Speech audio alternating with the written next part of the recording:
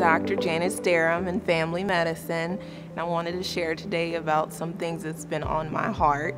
Heart health is important, uh, especially dealing with me, my dad, within the last six months, he ended up experiencing a cardiac arrest in the field. And as most people know, a lot of times, especially in the field, most people don't survive cardiac arrest. But thankfully, he survived. So, come to find out, after everything was settled, just talking to him, he had been experiencing symptoms for several weeks and he didn't tell anybody about it.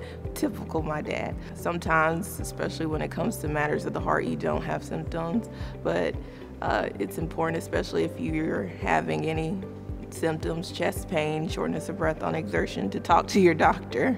As I look back on the situation that happened with my family, one of the things that I've learned, I guess I kind of knew it, but it kind of put forward for me that life is short and that life can be gone within matter of seconds.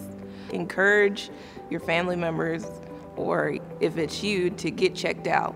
Um, there's nothing wrong with getting checked out by your primary doctor who can send you to a cardiologist or going to a cardiologist directly. It's better to be safe than sorry.